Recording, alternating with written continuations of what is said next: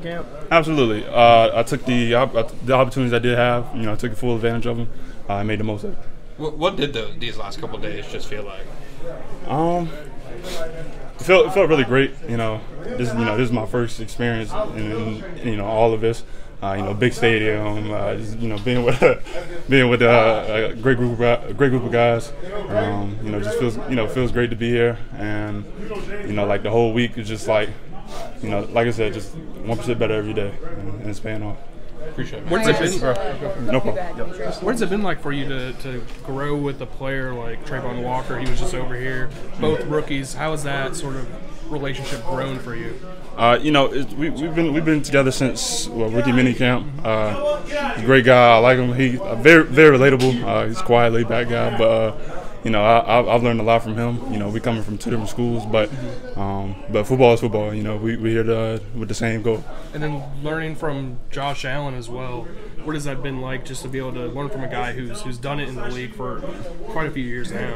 Um, I've actually I've actually been a fan of Josh Allen when I was in college. So I watched him a little bit while he was in Kentucky and while he was here as well. Um, you know, it's, it's actually great. Like when I first got here, you know, I wasn't like fanboy and anything, but you know, seeing him, you know, being at the same position as well, you know, just learned a lot from him. Uh, it's been great though. I, I, I like Josh.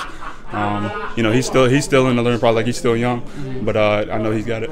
I asked Tim this question: Has there been like a formal conversation with you, being like you're on the team, or that does that not happen? Uh, I, I guess it hasn't hit me quite yet, but uh, I've uh, like I said, I've just been you know going off the schedule, you know, practice, practice, practice, you know, just waiting to hear something in, in case. But uh, but like I said, you know, just taking it one day at a time, one step at a time. It's not like Coach Shuey or Coach Buckner like took you to the side or anything. It's just you're, you're still being told to be here, so you're here. yeah, that you know, I, I, got a few congratulations and stuff, but uh, you know, like I said, you know, this this is a full time job. We we all here for the same goal and, and to win.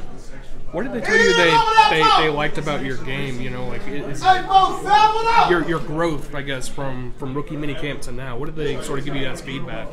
Um, you know, I, that I've been playing with, you know, relentless effort, playing playing with a purpose.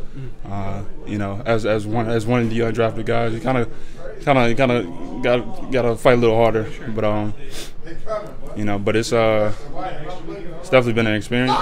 Um, I've uh.